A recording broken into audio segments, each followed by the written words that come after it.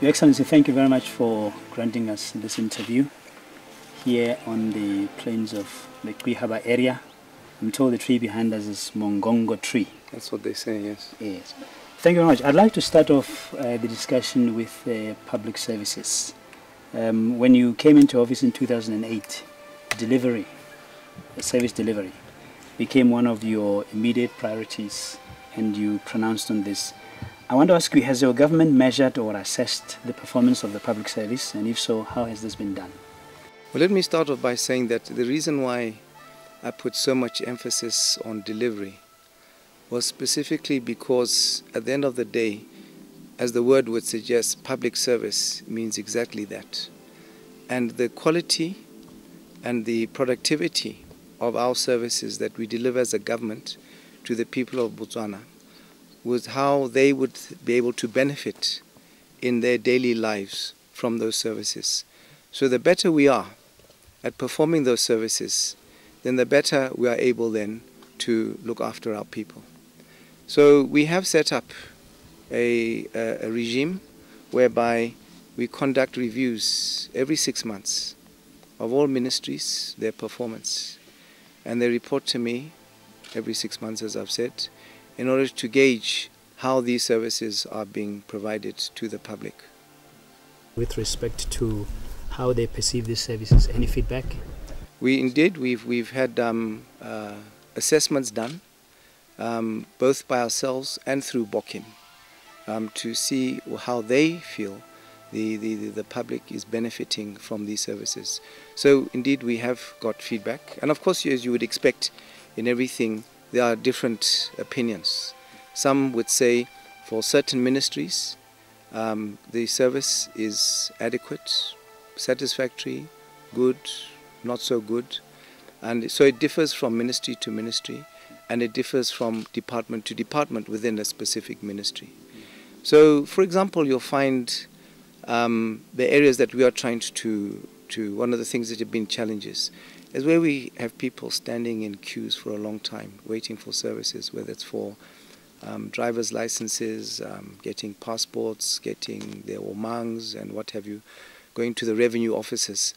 Um, in those sort of areas, um, whenever you have to wait in a queue, people don't want to be spending the whole day waiting in queues. So those are areas that we focus a lot of attention on as well. And I think over time we have been able to improve um, quite markedly uh, those services as well. But we've still got some way to go. But it's something which is evolving. In a lot of your public meetings, you regularly speak about the importance of productivity to the economic growth of this country and for the competitiveness of the country. How perhaps do you motivate the public service um, and both the private sector to perform on this very important issue? Something I've always said is that I shouldn't have to motivate people to work for their country.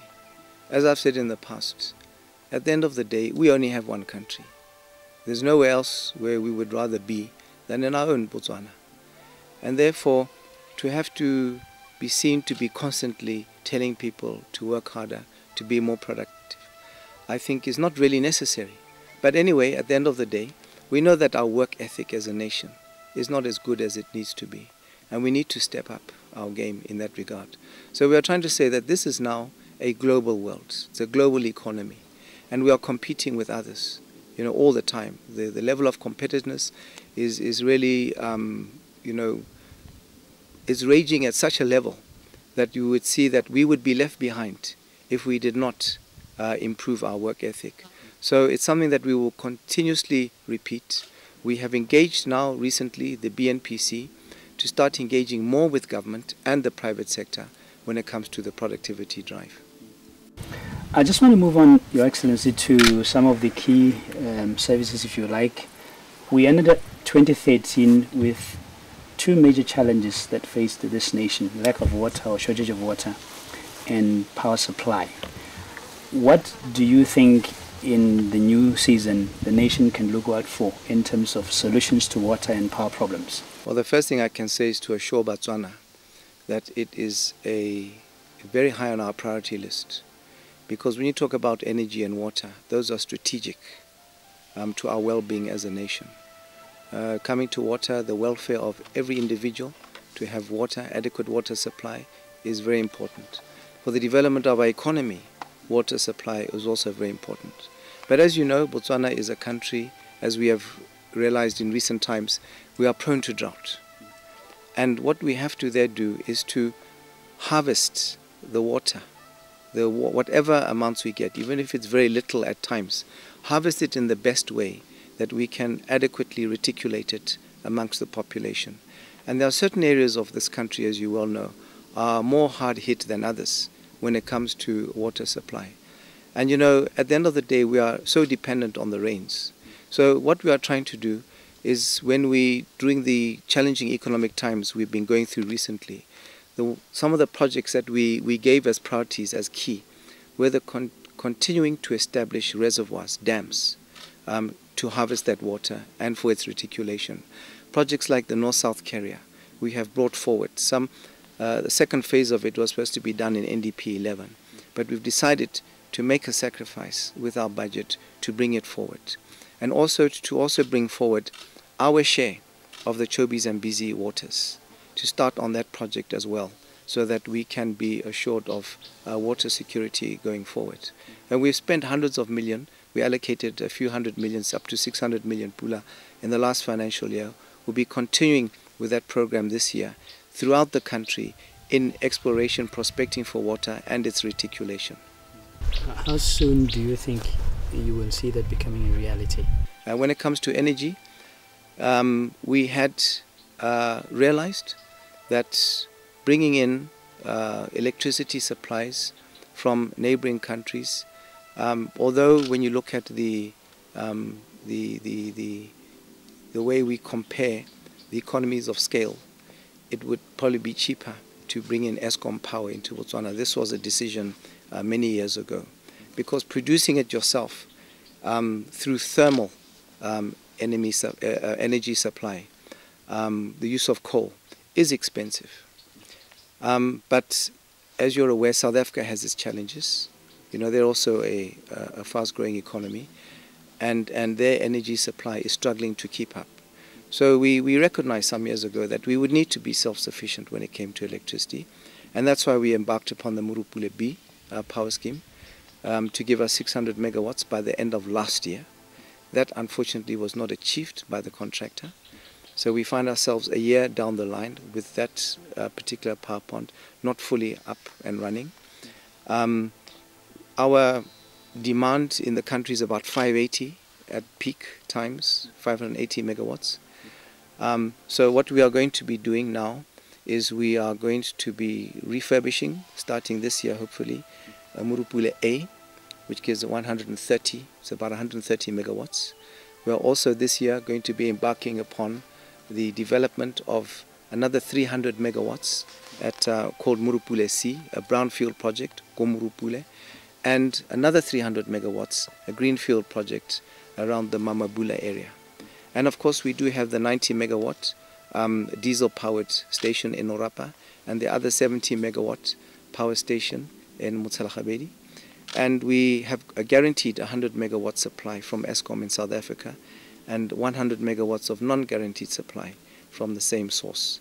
And I would like to also take this opportunity to really um, thank the South African government and Eskom for having um, extended their engagement with Botswana beyond uh, last year uh, when they realized and we had appealed to them that we're having these difficulties at Morupule.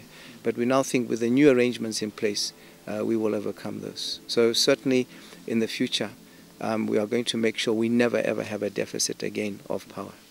And so you think uh, most probably we will see a much reduced possibility or reoccurrence of load shedding? You know, I'm not going to say no or yes to that. Those things are machines. They are man-made. Things can go wrong, as we have seen. We were assured a year ago we would have 600 megawatts. It didn't happen. So we had done everything that we could have done as a government and as BPC to ensure you got a contractor, the due diligence was done on the contractor, but we were let down. Um, so we have now taken measures And, and these are fa- problems facing governments from time to time. Your best laid plans can go wrong, and therefore you have a plan B. We are putting that in place, and so far it is working for us. So we are hopeful, and let me say, um, fairly confident that going forward, um, those days of load shedding, are, are, behind us. But what I can assure the nation is that um, even going forward beyond this year and next year, the plans that we have got as backups to ensure that we have surplus power, there will never be load shedding um, in, in, the, in the years to come. So it's possible this year we, we may have some challenges, depending if South Africa, for example, Eskom find they uh, themselves are not able to supply us, then we certainly are going to be challenged. But at least for now, we are keeping our fingers crossed.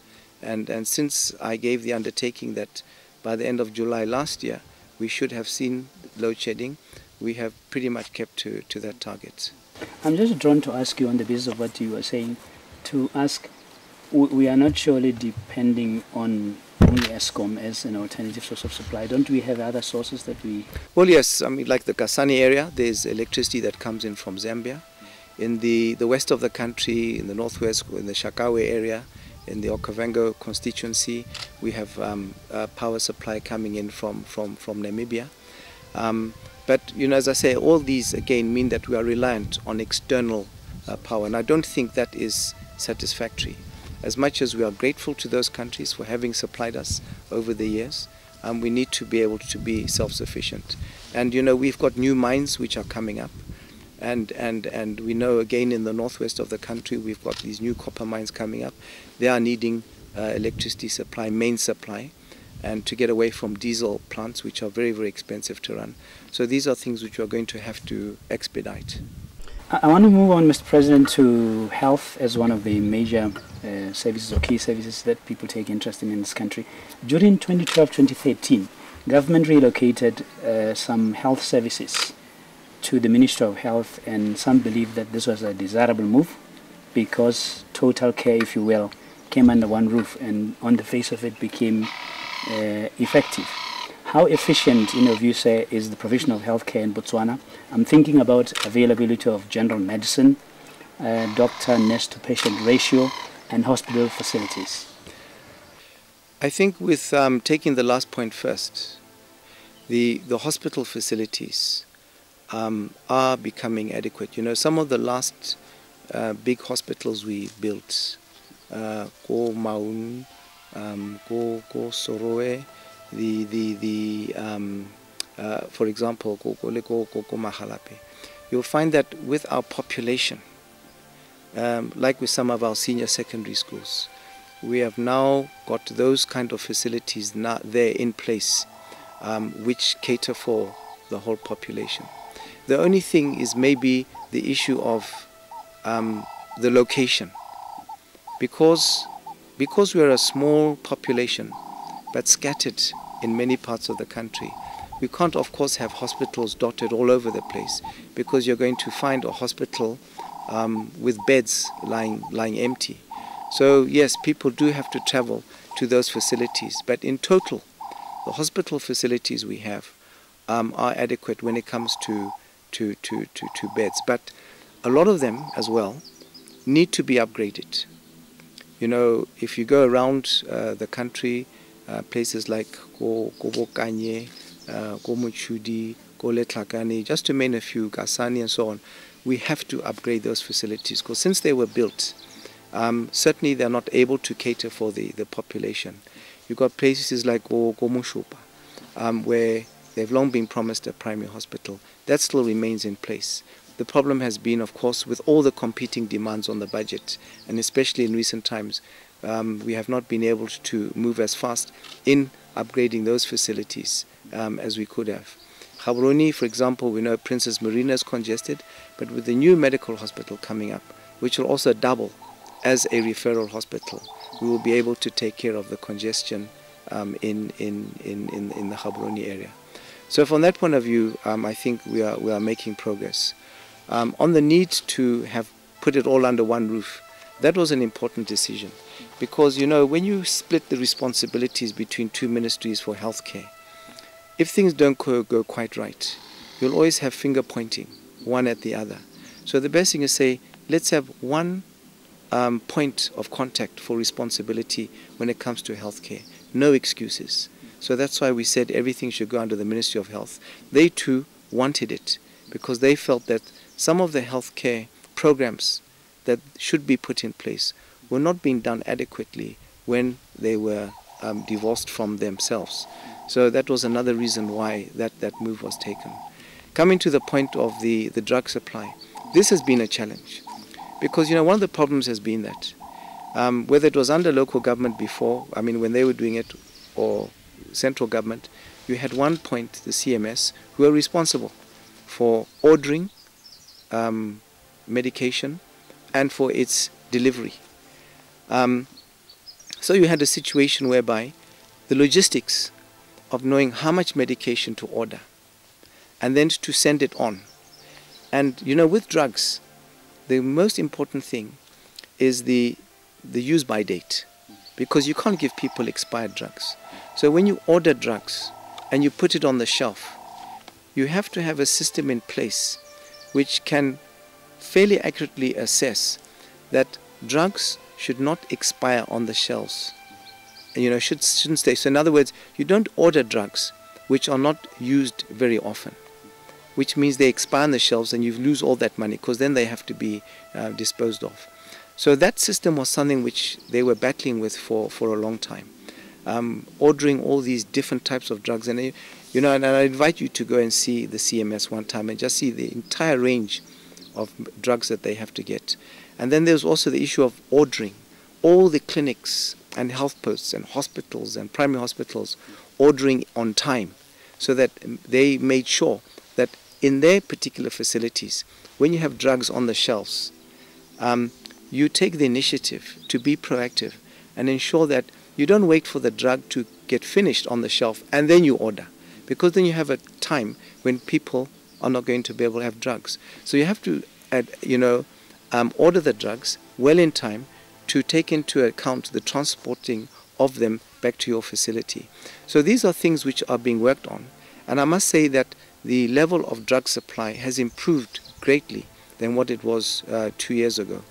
And, and again, it's an area that I'm confident that what has been put in place and something new that the Ministry of Health have done in engaging um, and outsourcing the distribution and transportation of drugs to the medical facilities uh, this year is also going to go is going to go well. Where do you think then say the gap is? Because quite often you still hear people saying such and such a drug isn't available at the dispensaries and hospitals and clinics. And as you say, we hear that at the ordering point, exactly. the medicines are available. It's because of you know it's that is the ordering point. Point. It's also the issue which has which was dogging us for a number of years, whereby with the budget cycle and with the, the ordering and the tendering, that you know you, things have to be tendered for. So, as I say, it's all a matter of logistics and administration, of ensuring that things are done. That's why we brought in an external consultancy to help the CMS put all these things in place. Uh, recently, um, we have said that it can happen that maybe some of these drugs may uh, run out or be a bit in short supply in government facilities. And that's why we, are, we have started to allowing um, citizen-owned pharmacies to be able to also step in and fill the gap should that happen to provide Batswana uh, with drugs. So again, we must always, we are now putting in backups for if in the event that on our side uh, we, we have the kind of problems we faced in the past. But as I say, I'm confident going forward when we look at the percentage availability that things are improving greatly.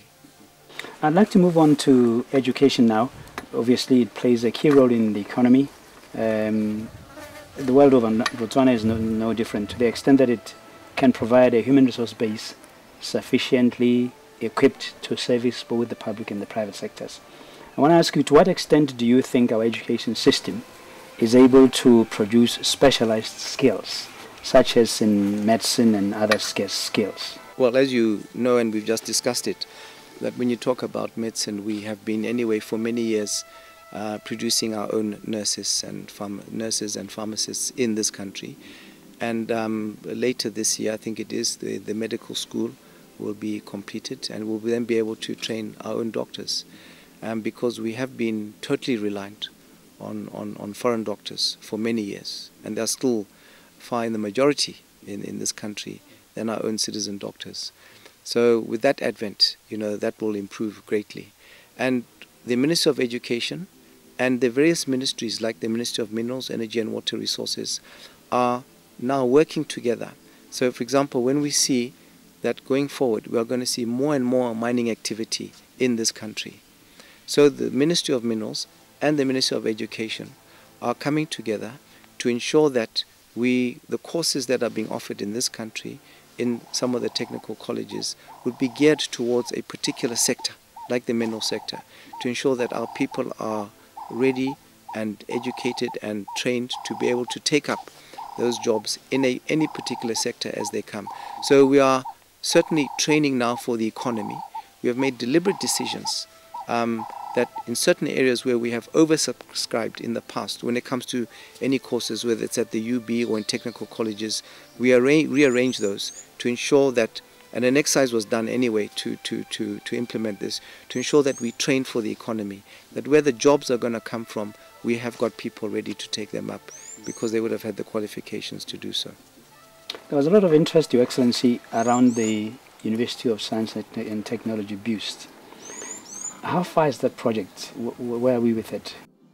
Well, we expect that um, uh, this year the, the, the intake uh, will be in place. Um, as we know, there were delays um, with the project, and that's why we started off the students at the uh, in, in Odi. Uh, but now we have got the staff in place. The students will be will be, will be moving across there. So I think after this, things will be. We had to of course, think about the phase two of the project. Because again, at the time when the economic downturn hit us, um, BIUST's phase two was one of those projects which was going to cost us a lot of money. And we had to rethink whether we wanted to pursue uh, the phase two of the university. And we, as you know, we put together a task team and, and they came up with certain recommendations. Eventually government decided that we would continue uh, with phase two. And even if we can't do it within the time frame we had expected, but at least we will do it in, we will create more phases so that eventually we get to where we are with, with BIUST. I want to ask you about the adequacy of education facilities in particularly at primary and secondary school levels. This is to say, what, for example, informs the distribution of schools around the country, and to what extent do you believe the system is catered for the less privileged of our communities or remote area dwellers? What informs the location of schools is population. And that has been the basis of all our development plans by this government. Um, that where you have most of the population, um, that's where you would put. So you'd have a, a center which would um, cater for a, an, a particular area. So when I referred earlier to hospitals, and I also mentioned senior secondary schools, indeed, um, we can't put a senior secondary school, as a lot of Batswana ask for, in their particular village or their particular town. So what you have is you have a catchment area. So you'll have a senior secondary school which will have a catchment area for a number of villages in that particular district um, because you've got the classrooms um, to be able to absorb all those students. Otherwise, it would mean breaking up these senior secondary schools into very small um, units, which would not be cost effective. So yes, once again, you know, people would who don't like to see their kids traveling long distance to go to senior secondary school.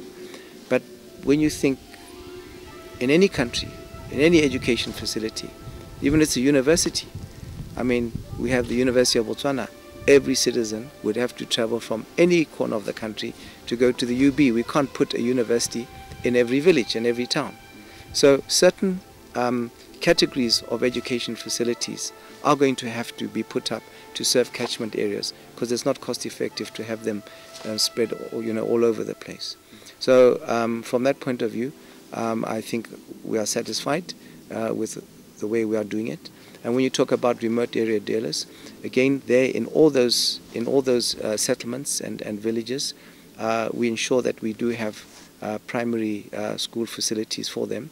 Uh, we have also um, introduced affirmative action for them, as you're aware, because of the various dynamics, which I don't want to go into, um, that you would see sometimes a problem with attendance of their children at school, maybe sometimes because of their culture, because of their location. Um, and therefore, what happens is that in some cases, not in all, but in some cases, you'll see um, year on year the results not being very good. And therefore, when they don't get the adequate results, so they don't score the, the, the adequate points um, to go into tertiary uh, institutions, um, they, they lose out. So with affirmative actions, we'll say that no, we must take into account their particular situation locally, the, the, the, the challenges that they have, because their kids going to school there is not like other kids going to school in Gaborone. So we then need to make a special effort um, to incorporate them into the mainstream. And that's why we introduced affirmative action for them. And we've now, every year we monitor, and since we introduced it a couple of years ago, we monitor the numbers that we take under affirmative action into our tertiary institutions so that they should not lose out because they happen to be living in remote areas. I want to conclude this particular section, Mr. President, with a piece from the teaching profession because in recent times, teachers have been quite vociferous about their conditions of service and relations with government. To ask you, have you been aware of any such concerns and if so, how have you dealt with them? I am aware and I've actually called and I had two meetings with teachers um, at State House in the last couple of years to hear from them what their concerns are. But you know, I don't just want to talk about teachers when you talk about their conditions of service. You know, during the time when there was a lot of a lot going on about the teachers' conditions of service,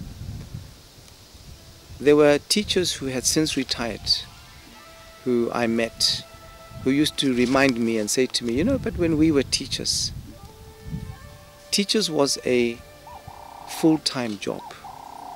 We worked from early in the morning, we worked until late in the day. We would work on weekends. Uh, we would take our kids out on school trips doing these um, activities, our sports and whatever. Uh, and and and we just took that as part of the uh, the job. And you know,